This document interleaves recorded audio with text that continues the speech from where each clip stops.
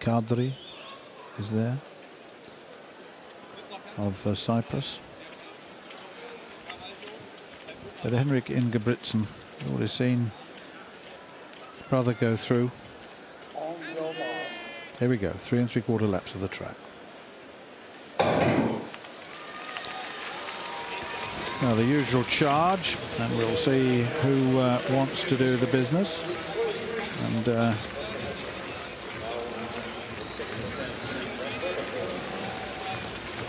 Kadri looking to take uh, a little bit of early control of the race, but uh, not to. Carvalho is there. He's taking it on, and uh, Atez and Wightman running wide on the outside, just behind uh, Khadiri now, and uh, the Italian just uh, dropping in behind him. Have a look at the time for the first. It looks a bit quicker. This this is certainly quicker, and uh, the tenor of the race has been uh, established quite early by Atez. And who is the Turk? Is the Balkan indoor champion actually, and uh, being chased now by the Frenchman.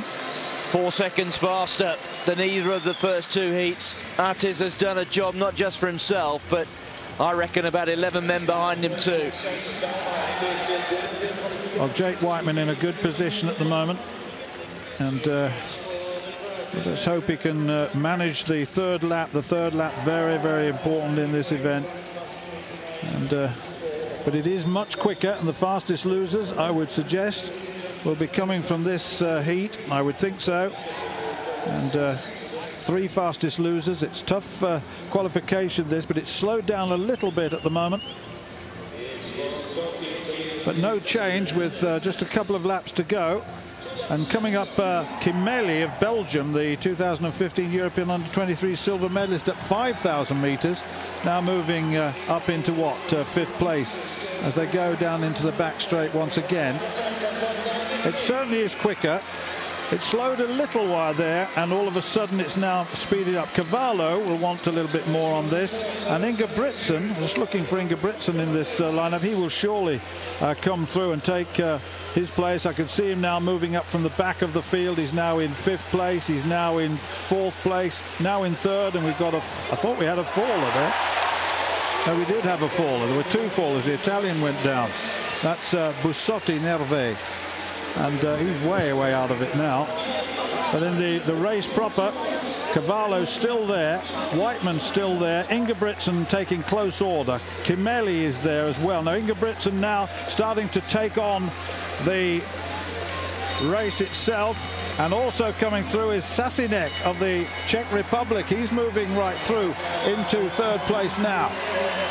And that uh, race now really on and Ingebrigtsen moves smoothly right through to the second place and he will surely attack soon as uh, will Sasinek on the left of your shot now and Jake Wightman mustn't get trapped in and I think uh, he's in fourth place now but uh, there are three past him. And Cavallero and uh, Sasinek these two and Ingebrigtsen has got some work to do and surely he'll do it as they come into the home straight.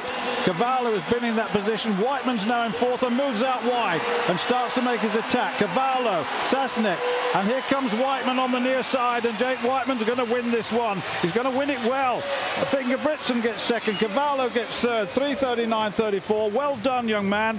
And that was a very well uh, devised race. 339.32. Don't worry about the time. It was uh, it was much quicker early on. But a British win in that uh, third heat of the semi-final round. That was quite impressive. He, he, ran that very well, didn't he? I think that was very mature indeed. He left his bid for victory until right towards the end. He let a lot of other people do the work. He made sure that he had eyes on everything that was going on around him. And then when he delivered his kick, he beat men many more experienced than he is. And that the fastest of the heats. And I reckon, well, all those first five will go through to the final. It's going to be quite tight. It means Tom Lancashire, he's definitely missed out. A couple of problems perhaps for the Belgian Peter Callahan. who finished second in that first heat.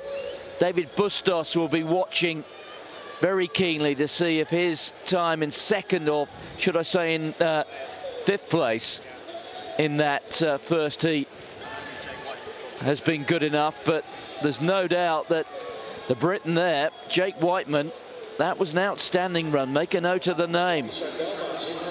And we're talking really about a title that's uh, there for the taking.